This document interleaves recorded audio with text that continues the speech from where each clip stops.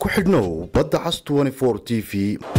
madaxweynaha jamhuuriyadda mudane ismaaciil cumar gille ayaa waxa uu maanta gudoomiyey shir howleed ballaadhan kaasi oo looga hadlay ka hortagga halista cudurka koronavirus oo ah halis cad oo dalalka dunida oo dhan in uu ku faafo laga cabsi qabo. Shirkaasi ayaa waxaa ka qayb qaatay ra'iisul wasaaraha jamhuuriyadda mudane cabdulqaadir kaamil moxamed wasiirka caafimaadka mudane maxamed warsame deeriye wasiirka arrimaha gudaha mudane muumin axmed sheekh wasiirka gaadiidka iyo qalabaynta mudane muuse maxamed axmed wasiirka gaashaandhigga mudane xasan cumar maxamed. Shirkaasi ayaa waxaa si gaara madaxweynaha jamhuuriyadda iyo sidoo kale xubnahaasi xukuumaddu ay uga wada xaajoodeen istaraatiijiyadda qaran ee looga hortegayo halista cudurkaasi uu leeyahay. Kulankaasi madaxweynaha jamhuuriyadda ayaa ugu yeedhay hay'adaha ay khusayso ka hortagga cudurkaasi in sida ugu wanaagsan looga xijaabto halista cudurkaasi coronavirus uu leeyahay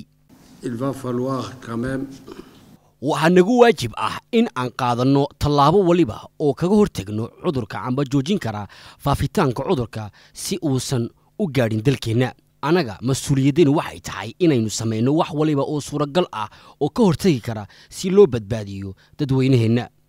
maanta ma haynaa qorshe aan kaga hortagi karno. Marka loo eego xawliga uu ku socdo cudurka sida laga soo warinayo hay'adda caafimaadka adduunka oo bixinaysa talooyin caafimaad sideese amuurta si wada jir ah loo wajihi karaa? Dhammaan hay'adaha dowladda haddi ay tahay gaadiidka arrimaha gudaha gaashaandhigga iyo cid waliba oo uu khuseeyo.